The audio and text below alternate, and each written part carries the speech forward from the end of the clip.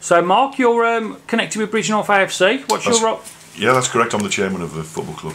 And um, Christmas is a happy time for all, but uh, not so much down at Bridgnorth AFC. Just fill us in on what's going on there, chap. Uh, no, you're right. Um, just before Christmas, um, I think it was last Thursday, I went down about half past nine in the morning to find that the um, our club had been burgled and uh, a lot of uh, property had been stolen, which is obviously um, taken we've taken quite a hit before Christmas, um, and we just stocked up for Yeah. the Christmas rush, and obviously we lost uh, a lot of our stock, so we've had to to buy that twice, which we can ill afford, but. Uh, So, what, have they, what we're talking, booze and computers, I uh, believe. the yeah? car, they took the till, uh, they took Yeah. a, a machine off the wall.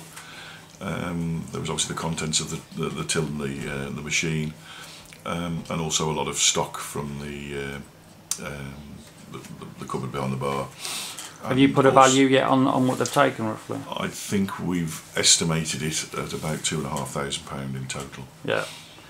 And the club, it's not rolling in money, I suspect. These small clubs aren't. No, I don't think any football clubs at our sort of level uh, are rolling in money anymore. Um, as I say, we're a group of volunteers on the committee. We uh, we put our time and effort in in our spare time and around our ordinary jobs to keep the club going. We've survived pretty much on our uh, uh, bar taking, so no, we're not an affluent football club, Yeah. and we can ill afford to uh, to lose what we've lost on this occasion. So the images that people will be seeing over this, that's some CCTV from the night. So what, what we're after is anyone that recognises anybody, clothing, any information.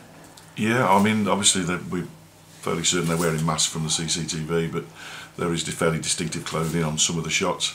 We're hopeful that somebody will identify uh, a person who's responsible from that from that clothing. Must have um, hit the club hard, not just financially, but you know, like you say, a lot of people put in a lot of hours on their goodwill, voluntary, and you, you do a lot of work for charity as well, don't you? We've done stuff in the shops you we have an adopted charity in Hope House, and we try to do uh, what we can for them, and also we're we're open um, for other agencies to use us for raising money for charity. We have a function room there, um, so yeah, it's it's taken everybody's taken a bit of a toll off this because you know we work hard, and it's very dispiriting when you find somebody can just kick your doors open, walk in, and take all the take all the uh, your property and the finance away because we survive day to day um, because of the way football is these days, and it's very difficult. So, for somebody to walk in and do that, it's an absolute disgrace, and I'd love to get my hands on them.